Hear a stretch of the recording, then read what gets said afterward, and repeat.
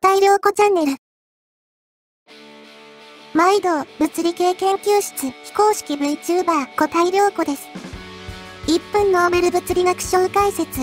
1974年は、マーティン・ライルさんとアントニー・ヒューイッシュさんで、受賞理由は電波天文学における先駆的研究です。電波天文学っていうのは、電波を使って、賢いでは得られない情報を得ようっていう天文学の分野です。けど、電波の波長は、賢いの波長より長くて、普通の方法では、解像度を上げることが難しいです。そこで、ライルさんは、外光合成という方法を発明して、この問題を解決しました。外光合成っていうのは、複数のアンテナの情報を使って、得られる情報の解像度を上げる方法です。電波望遠鏡がたくさん並んでるのを見たことありませんか？